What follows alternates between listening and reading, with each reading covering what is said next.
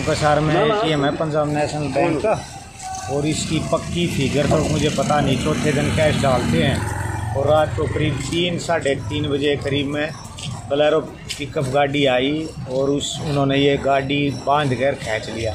ऊपर से इस भाई को देखा तो गमला मारा तो इसने पिस्टल देखा वो बैक में हो गया उन्हें गमला तो भगा दिया और पुलिस अपनी जाँच में लगी शायद ये ट्रेस हो जाए गाड़ी में डाल के लेंगे गाड़ी में डाल के लेंगे। गाड़ी भी चोरी की है। कितने का आदमी आए थे?